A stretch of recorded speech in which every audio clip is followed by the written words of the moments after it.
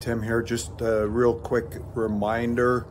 Uh, this Saturday, 2 March, Miss Lexington Wright from Dallas Fort Worth area uh, is going to be talking to us and teaching us all about um, uh, appealing your property taxes and what you have to do in order to be successful at getting them uh, getting it uh, approved. So you don't have to be a real estate investor this could be your own personal home, it doesn't matter.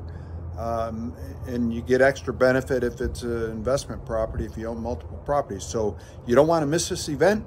Go to www.westdfwreigroup.com and click on the calendar and then to March and get registered today. You still have time